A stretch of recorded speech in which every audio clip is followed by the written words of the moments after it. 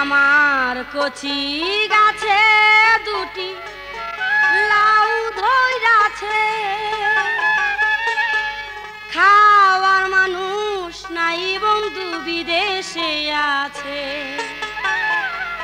আমার কচি গাছে দুটি লাউ ধইরাছে